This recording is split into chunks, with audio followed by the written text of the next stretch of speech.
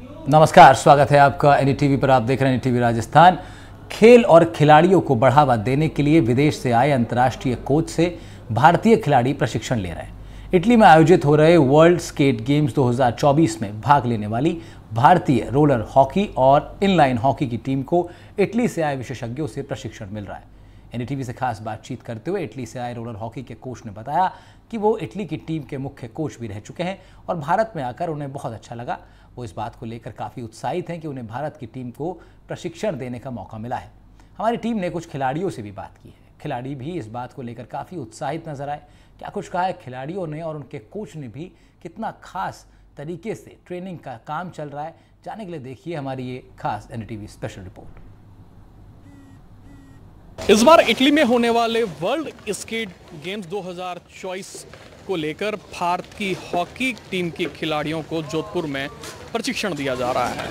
जहाँ rolling hockey और inline hockey की नेशनल टीम्स के खिलाड़ियों को प्रशिक्षण देने के लिए इटली से दो विशेष कोच जो हैं वो जोधपुर आ चुके हैं और प्रशिक्षण दे रहे हैं। आप देख रहे हैं आ, मेरे पीछे जो भारत के देश के विभिन्न राज्यों से जो ये हॉकी स्केट लाइन हॉकी के जो खिलाड़ी हैं वो यहाँ प्रशिक्षण ले रहे हैं और विदेशी कोच भी जो हैं वो इनको बखूबी जो है वो प्रशिक्षण दे रहे हैं।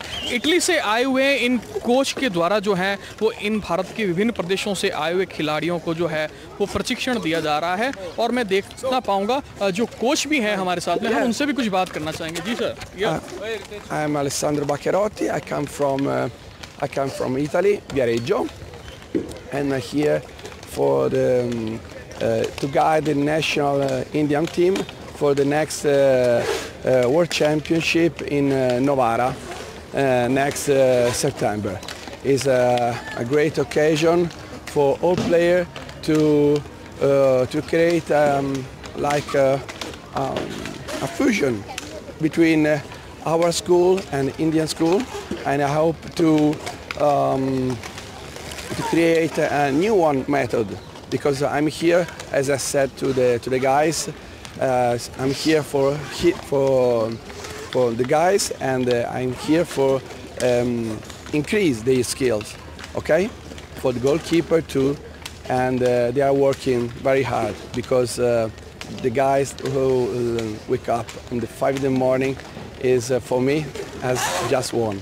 Yeah, I'm very happy for, for all the uh, guys are here and practicing very hard, uh, very, uh, very, um, uh, how you say, um, honored, honored for the uh, for India, and I thank India too. बिल्कुल तो आप देख सकते हैं rolling hockey और inline hockey जो है उनको लेकर प्रशिक्षण दे रहे हैं कुछ खिलाड़ी भी हैं जो यहाँ प्रशिक्षण ले रहे हैं उनसे भी हम बात करना चाहेंगे जो गोल्ड मेडल्स भी है सर क्या नाम है आपका मेरा नाम प्रभव विलिच है मैं पंचकुला से रहने वाला हूँ। मैं हिमाचल प्रदेश को हिमाचल प्रदेश से खेलता हूँ। मैंने अभी पिछले ही साल मकाऊ में सिल्वर मेडल जीता था। मैं अटैक करता हूँ और इंडियन टीम से मैं पिछले सतारह साल से खेल रहा हूँ। मैंने अपनी पहली वर्ल्ड जब मैं चौदह साल का था 2015 में खेली थी। बिल्कुल। अंतर्राष्ट्रीय कोच जो हैं, वो इस बार प्रशिक्षण दे रहे हैं। जोधपुर में भी जो है, वो दूसरी बार ऐसा मौका मिला है, जब जो भारत की जो टीम है, उनको यहाँ प्रशिक्षण दिया जा रहा है और दूसरे चरण का ये प्रशिक्षण है। विदेशी कोच से प्रशिक्षण लेके जो है, वो कितना आपको हमारे को इसका बड़ा फ़ायदा हो रहा है।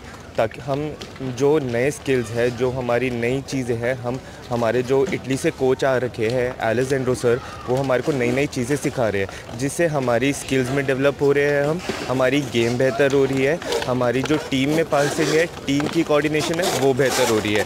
हम धीरे धीरे हर स्थल में अपने इंडिया को आगे लाने की कोशिश कर रहे हैं। बिल्कुल।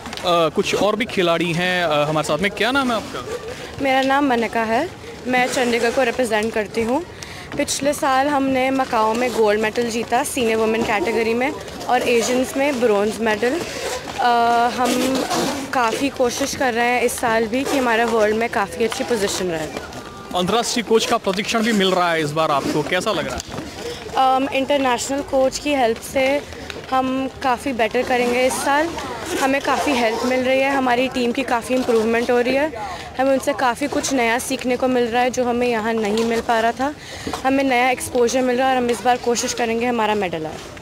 तो कह सकते हैं, इटली में होने वाला इस अंतर्राष्ट्रीय गेम में जो है, भारत का परचम लहराए उसके लिए विदेशी कोच जो हैं, वो इनको प्रशिक्षित कर रहे हैं। कौन कौन सी जो ट्रिक्स होती हैं, जो बारीकियाँ होती है, उनको लेकर भी इनको प्रशिक्षित कर रहे हैं। हमारे साथ में जो है वो जोधपुर जिला हॉकी एसोसिएशन के सेक्रेटरी भी हैं, अजीत सिंह जी। सर जोधपुर को दूसरी बार ये मौका मिला है, जब जो है, नेशनल टीम्स को यहाँ प्रशिक्षण दिया जा रहा है। इस बार जो है, अंतर्राष्ट्रीय कोच भी आए हुए हैं। सबसे बड़ी बात यह है कि जोधपुर की खुशनसीब मान लें ग्राउंड का इतना बेस्ट ये ग्राउंड बना हुआ है कि यहाँ पे दूसरी बार हमें इंडिया टीम को प्रश्न करने का मौका मिल रहा है। और सबसे अच्छी बात है कि जो विदेशी कोचेज़ आए हैं, ये नई नई स्किल जो सिखा रहे हैं इससे निश्चित तौर पर इंडिया टीम अपना मेडल लगाएगी गोल्ड मेडल लगना मतलब मानते हैं गोल्ड मेडल इनका लग जाएगा। और जिस ढंग का ये ट्रेनिंग दे रहे हैं, उससे लोकल जो भी बच्चे हैं, उनका फ़ायदा होगा। और सबसे खुशी की बात है कि जोधपुर के तीन बच्चे भी इसमें सेलेक्ट हुए हैं। ये जोधपुर के लिए बहुत बड़ी बात है। पिछले साल भी तीन बच्चे सेलेक्ट हुए थे। हम कोशिश कर रहे हैं कि हर बार हमें इंडिया टीम का कैंप जोधपुर को मिले ताकि ये नई नई प्रतिमाएँ यहाँ आएँ।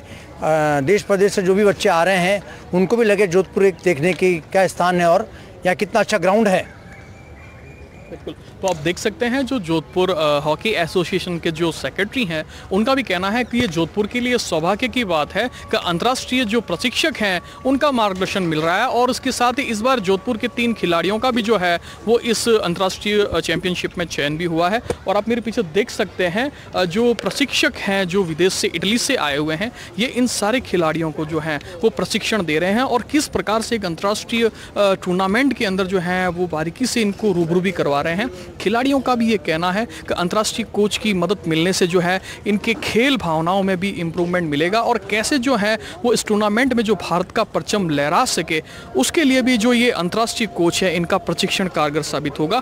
और आपको बता दूँ कि जो ये अंतर्राष्ट्रीय कोच ये आए हुए हैं, ये इटली की जो नेशनल टीम है, उसके भी जो है वो सीनियर कोच भी रह चुके हैं। जहाँ कह सकते हैं कि जोधपुर में इन भावी खिलाड़ियों, जो देश का नाम रोशन करेंगे, इटली के अंदर जो है वो अंतर्राष्ट्रीय गेम्स में अपना दमखम दिखाएँगे। उनको इन अंतर्राष्ट्रीय कोचेस की मदद से जो है, वो कहीं लाभ मिलने की संभावना भी है। जोधपुर से एनडीटीवी के लिए मुकुल परिहार।